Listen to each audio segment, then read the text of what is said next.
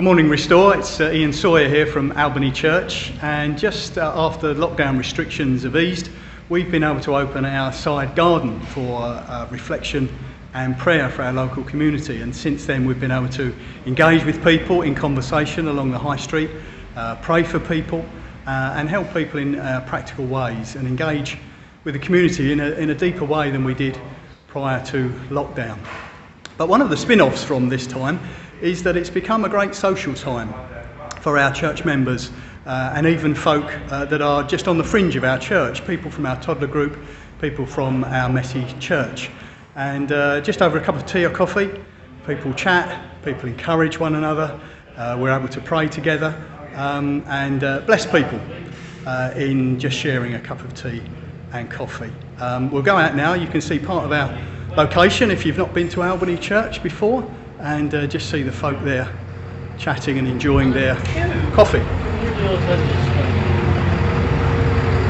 There's Bob there.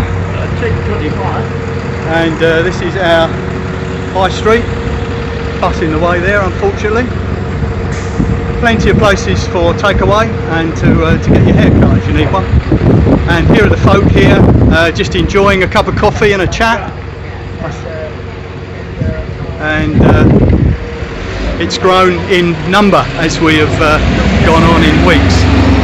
But one of the other ways that uh, coffee and tea can be a, a blessing is uh, in just getting together one on one. And just this week, one of our church members was able to, um, just passing by a friend who lives on her own, uh, gave her a call and said, Are you okay for a socially distanced coffee?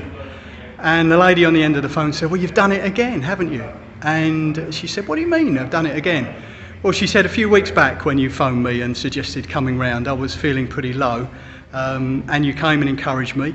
And today you've called, and again I'm feeling a bit despondent. Please come and uh, have a coffee together. And uh, in doing so, I think they blessed one another, to be honest. Um, so there we are. Well, I wonder what you can do. Uh, the blessings of giving people a little bit of time, uh, just a friendly listening ear, a word of encouragement uh, can be a great blessing. So there we are, the blessings of sharing a drink together.